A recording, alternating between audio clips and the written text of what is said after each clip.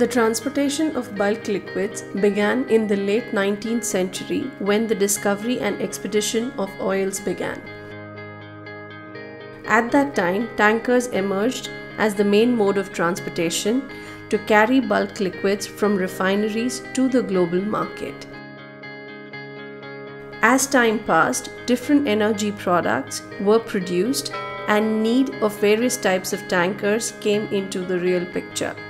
Presently, a variety of products such as crude oil, finished petroleum products, liquefied natural gas, chemicals, edible oils, wine, juice, molasses, etc., are transported through tankers. Tankers play a major share of more than 33% of the world fleet tonnage. Tankers, however, are not restricted to one particular type or variety. There are many types of tankers in terms of use, construction, and size. There are two main categories by which shipping tankers can be classified by type, purpose, and by size. Let's take a look at classification of tankers on basis of types. Oil tankers. Oil tankers, as their name suggests, carry oil and its byproducts. An oil tanker is designed to carry wide variety of petroleum products in bulk ranging from crude oil to refined products. Their size is measured in deadweight tonnage and ranges from 55,000 deadweight tonnage to VLCCs of over 300,000 deadweight tonnage. Due to their immense size, they have become quite cheaper to transport petroleum products. It costs around 2 to 4 cents per gallon only. Oil tankers are further subdivided into two main types product tankers and crude tankers. Product tankers are used to transport petroleum based chemicals. They are used to carry refined oil of various grades and are smaller in size as compared to the crude oil tankers. Crude tankers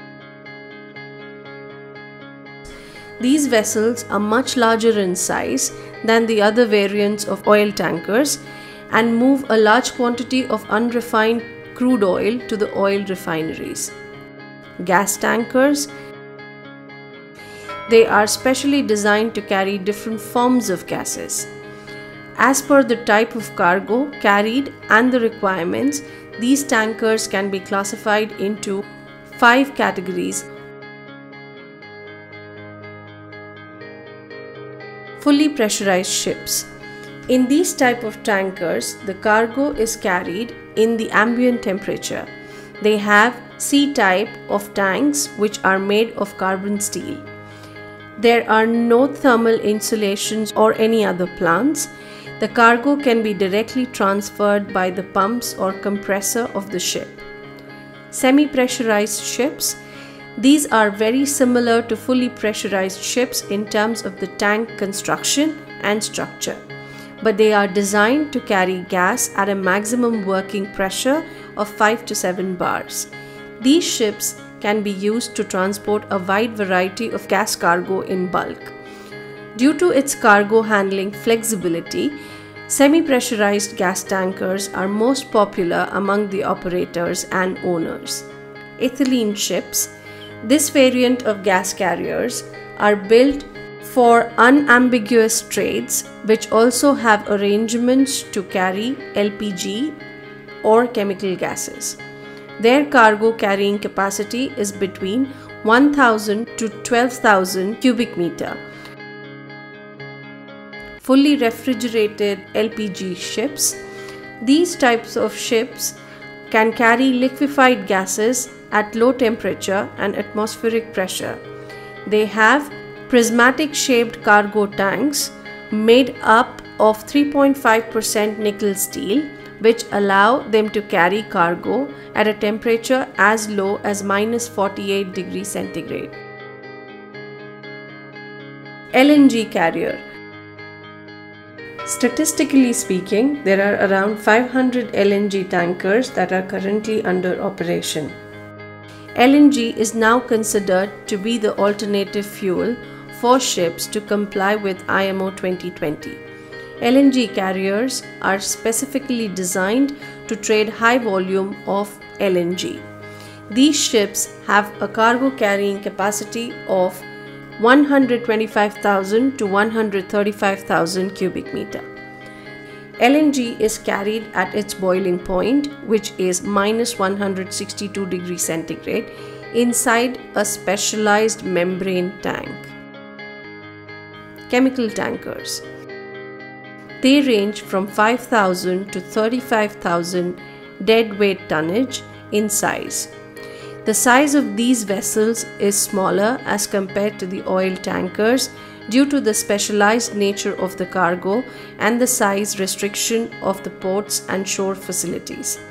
They consist of various tanks which are coated with specialized coatings such as phenolic epoxy, stainless steel, or zinc paint.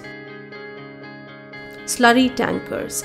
Slurry refers to all those materials that do not disperse or dissolve in water and are otherwise regarded as waste material.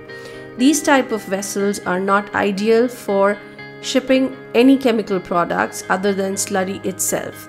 Hydrogen tankers These tankers are specifically designed to carry liquefied hydrogen gas in bulk.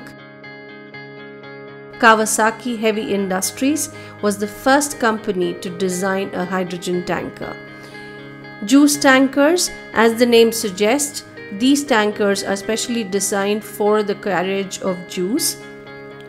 They either carry concentrated or fresh orange juice originating from Brazil to other parts of the world. These tankers have refrigeration, temperature controller, and preservation plants, which helps them to keep the juice fresh at all times. Wine tankers.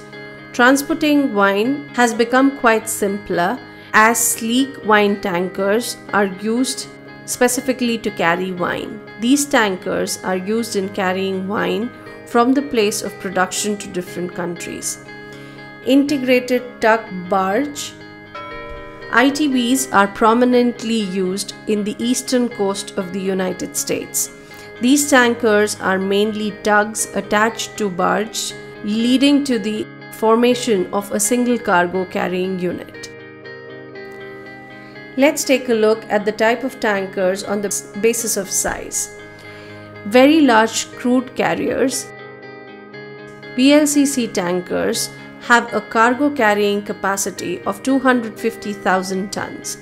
Ultra large crude carriers ULCC are mega ships that have a cargo hauling capacity which ranges up to 500,000 tons.